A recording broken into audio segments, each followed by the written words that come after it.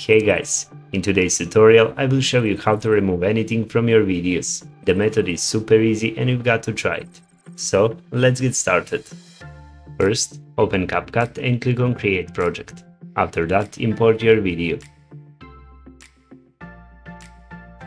Before editing my video looks like this.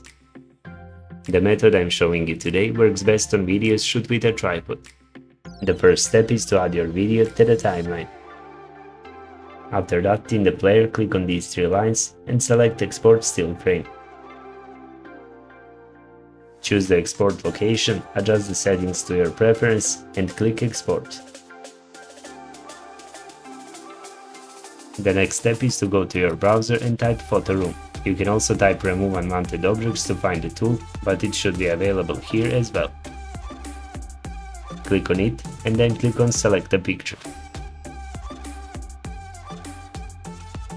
Now upload the picture you exported.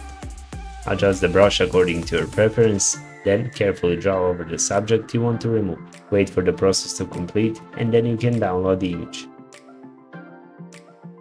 Let's return to CapCut now to continue editing. Now import the image you edited in Photoroom. Add it as an overlay and then align it with your video.